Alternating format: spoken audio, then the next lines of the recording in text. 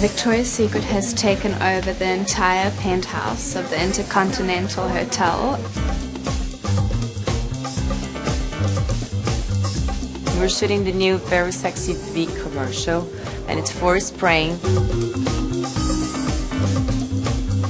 I think shooting the Very Sexy V campaign is different from other campaigns because we're shooting very intimate moments. It's more sensual and it's more personal. I think it's a nice side to see of everybody.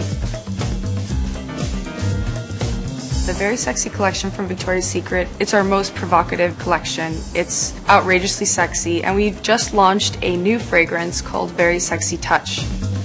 When you put it on, the first thing you feel is kind of like this sexy confidence. It feels romantic and it feels sensual, and that's why it's called Touch. The new bra, it's called the Very Sexy V.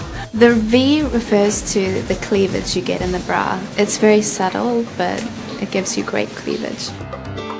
I love seeing the commercials when we're done. I think I get to see myself in a new light. Every collection is a different side, a different personality, a different expression, and to get to see how it's cut together, you really see a really strong, defined personality.